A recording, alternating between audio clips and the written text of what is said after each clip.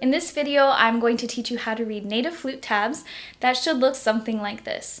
The great thing about learning how to read tabs is it's going to open your world to being able to play a lot of different music created for the native flute. This is part four of my Learn the Native Flute series here on YouTube, so check out my playlist to watch the other videos. Before we get started, if you are looking for your own native flute or a new one, you can go to High Spirits and use my code GINA for 15% off your entire order. The flute I will be demonstrating on today is the Sparrowhawk in Aromatic Cedar in the key of A. I will have something very similar linked in the description below. Now let's get started.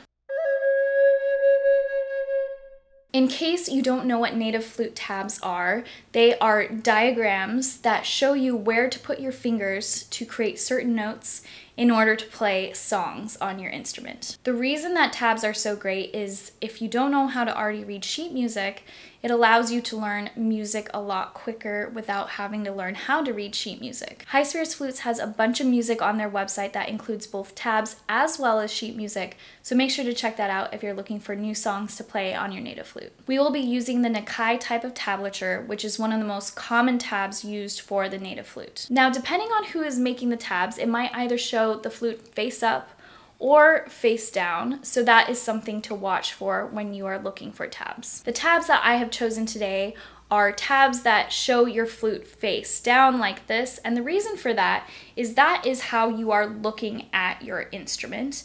And so I thought that would be the easiest way to teach you how to read tabs. Another thing I'll mention is that some native flutes have five holes and some have six holes. Most by High Spirits will have six holes, but will usually also have a leather strap over the third hole right here. So ultimately that's why you might see some tabs that show five holes and some that have six holes. If you have a six hole flute and you see tabs for five holes, what you want to do is just always keep this third finger on your left hand down while you're playing. Now on the flip side, if you have a five hole flute and you see tabs for six holes, what you'll want to do is basically disregard the third hole on the left hand. So as long as that is always covered, you won't have to worry about it. Now, if the tabs that you're reading are actually utilizing this hole right here, that will not be able to work on your instrument. So just make sure you find tabs, if it is six hole, that this one is always covered. So I'm looking down at my instrument like this. Here is my left hand on top, and here is my right hand on bottom. Of course, this will be mirrored for you. These bottom three circles are for your left hand.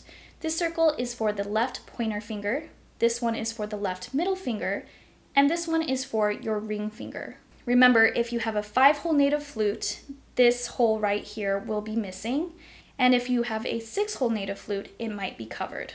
Now for the right hand. This circle is for the right hand pointer finger, this is for the middle finger, and this very top circle is for the right ring finger. Just remember this, when a circle is colored in, that means that you are covering it with a finger. If the circle isn't colored in, that means that you don't cover it. Now I'm going to show you part of a song from the Native Spirit Songbook from High Spirits, and I'm going to show you how we use tabs to learn it. One thing I will mention is I am playing, again, a flute in the key of A. So if you are playing a flute in a different key, it's going to sound different than if I am playing one in A. So just keep that in mind. You can still use this tutorial. It's just going to sound slightly different. It's just going to either be a little higher or a little lower than what I'm playing. You're gonna read tabs from the left to the right. So let's start with the top left. You'll notice all the circles are covered in. So that means one, two, and this is down, and then one, two, three on our right hand like this. For the next note, you'll notice it's the same except the top hole is uncovered. So that corresponds to our right ring finger like this. So that comes up. For the next note, you'll notice another circle is uncovered, and that is the second hole, which corresponds to our middle right finger right here. So it should look like this. Now the next note, that goes back down. So we have one, two, this is down, one, two. The next note, we're going to raise that middle finger again. And the next two notes, we're gonna put that middle finger back down. Now let's try what we've done so far together, nice and slow.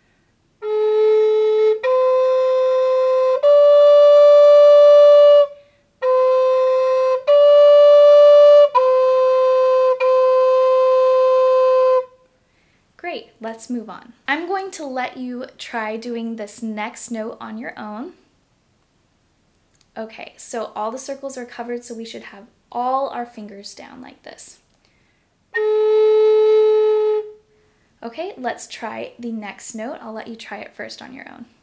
So we have one circle on the top uncovered, which corresponds to our right ring finger. So it should go up like this.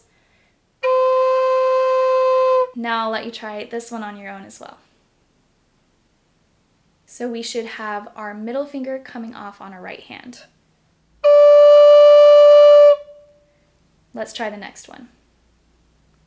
And we have our middle finger coming back down and there are four of those in a row.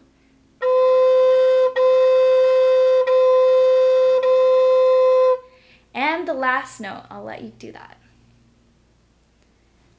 We raise our middle finger and it should look like this. One, two, three, one. Great. Let's put it all together now, nice and slow from the very top, reading left to right.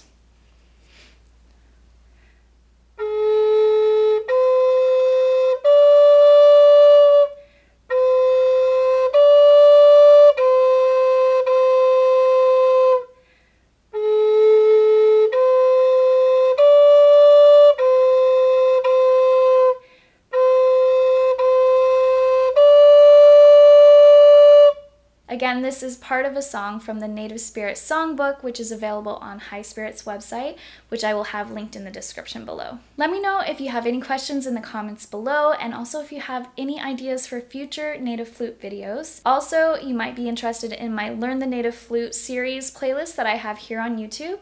Thank you so much to High Spirits Flutes for making this series possible. You can subscribe to me here on YouTube so that you don't miss any of my future videos on the native flute. You can also find me on Instagram and TikTok, and I'll see you next time.